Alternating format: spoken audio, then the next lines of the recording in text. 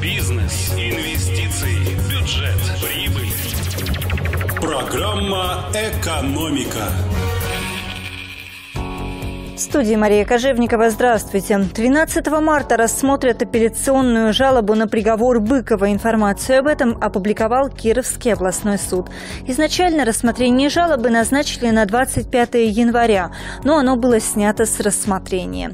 Подали жалобы адвокат, прокурор и сам осужденный. В ноябре Владимира Быкова приговорили к 8 годам и 8 месяцам лишения свободы с отбыванием сроков в колонии строгого режима.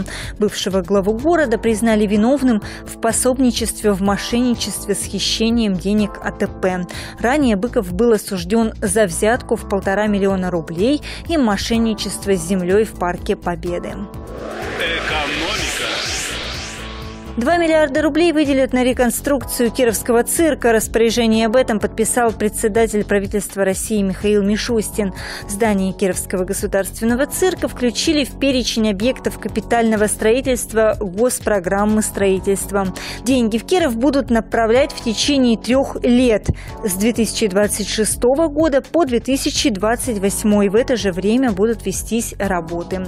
Капитального ремонта здания цирка в Кирове не было с 45 лет, то есть за все время его существования. В эфире «Экономика». На 800 тысяч рублей оштрафовали управляющие компании в Кирове за неочищенные крыши. Это первые результаты работы комплекса автоматической э, фиксации нарушений э, «Дозор», который на днях выехал на улицы Кирова. Напомню, что оборудование автоматически фиксирует сосульки, налить на крышах, снежные свесы.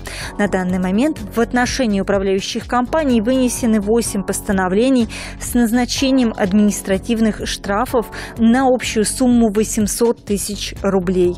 Пока комплекс работает в рамках пилотного проекта на территории Октябрьского района. В случае успешного опыта применения машина начнет ездить по всему городу. Мария Кожевникова, новости экономики в Кирове. Программа «Экономика».